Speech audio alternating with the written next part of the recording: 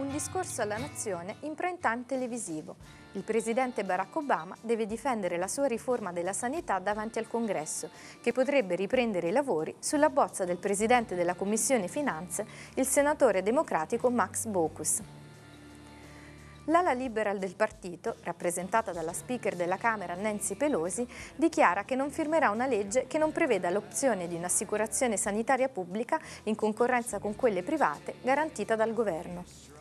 Per farlo sarebbe necessario prevedere più tasse e una maggiore copertura finanziaria, cosa che i Democrats conservatori considerano inaccettabile.